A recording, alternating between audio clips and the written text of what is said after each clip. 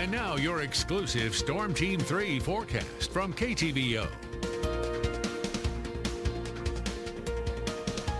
Hey, and a good Wednesday morning, everybody. Troy Moling here from the Storm Team 3 Weather Center. About 13 minutes past the 6 o'clock hour, and we're still cloudy this morning. It's maybe a little bit of clearing, but some rain also trying to move in from the southwest. So we'll be dealing with that over the next couple hours still. We did add to our rain totals yesterday. Now getting close to two and a half inches for the month of November. That's uh, pretty close to where we should be for the entire monthly average and also continuing to add to that surplus a little over 18 inches. But dealing with the rain today also, the steady temperatures will continue. We're getting even colder and we are watching for some snow by later on this week too. We'll talk all about that here in just a second. But uh, temperatures right now into the upper 40s, low 50s, 50 in Ottumwa, Macon, 53 in Mount Pleasant, 49 right now in Kirksville.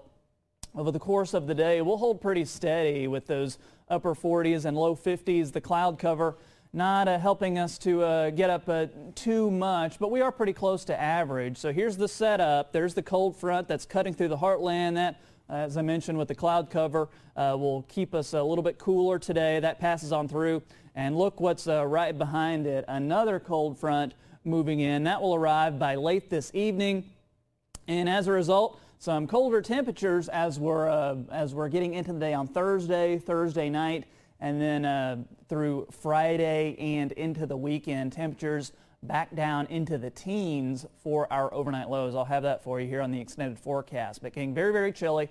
Today, temperature's not too bad, 50 degrees. There's the uh, cloudy skies, winds from the southwest, 10 to 20 miles per hour, gusting at times over 30 miles per hour. Big time cool down tonight, uh, 33 degrees, so just a degree above that freezing mark. Notice the gradual clearing, so we'll give it mostly clear skies, west winds 10 to 20, so those winds begin to turn as well, but they're still uh, gusting about 28 miles per hour. So as that cold front moves on through, those winds will start to turn, and we're feeling the effects of it for the remainder of the week. 48 as we head into Thursday. There's the sunshine, so we'll clear out tonight and we'll stay clear through Thursday, but notice an increase in cloud cover as we head into Friday.